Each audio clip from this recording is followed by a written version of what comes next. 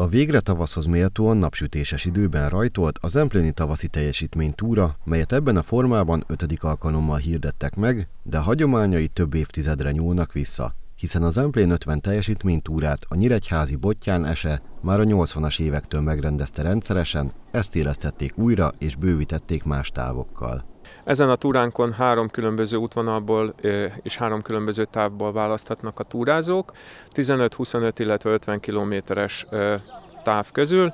Minden ö, táv rajtja és célja itt a kerének az udvarán és a tornatermében van. A rövid távosok ö, a magashegy megkerülésével, Rudabányácska érintésével, a magashegyi kilátó keresztül térnek vissza. A nagyobb táva 25 km, egy kicsit távolabb a Rákóczi-fától, a Puszta délőn, a mm, Nyilazóvölgyön keresztül Cseréptó, és onnan jönnek vissza Rudabányácska, és csatlakoznak az előző távhoz. A nagy távosoknak egy igazi nagy komoly kihívás 2000 méter szint emelkedéssel, ők érintik makoshotykát, nagyhutát, vágáshutát, és úgy gyakorlatilag az országos kéktúrának egy jelentős szakaszát bejárják, és úgy térnek vissza ide hozzánk.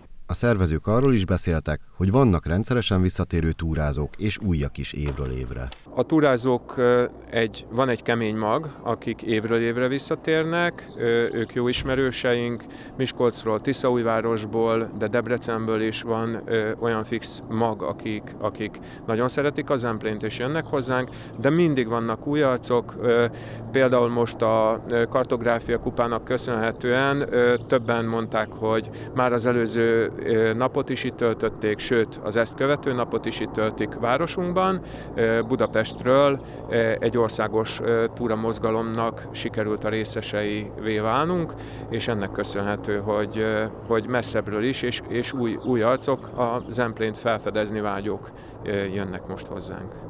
Előzetesen körülbelül 80 fő regisztrált, akik többsége a hajdúságból és a nyírségből érkezett, de érkeztek Miskolcról, Kecskemétről és Budapestről is családok.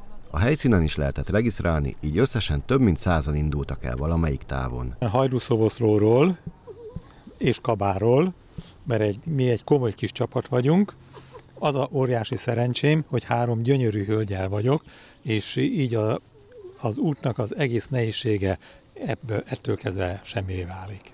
Nekem eh, az Emplénről, meg az egész Magyarország hegyvidékről nagyon pozitív a véleményem, nagyon szép Magyarország, nagyon érdemes jönni Magyarországra, nem muszáj menni magas hegyekbe, hát én nagyon sokat voltam Szlovákiában, Tátrában, az Alpokban, Magyarország nagyon szép, tehát mindenkinek ajánlom. A túrán nem csak aktív korúak vettek részt, hanem nyugdíjasok is, de volt köztük első osztályos gyermek is.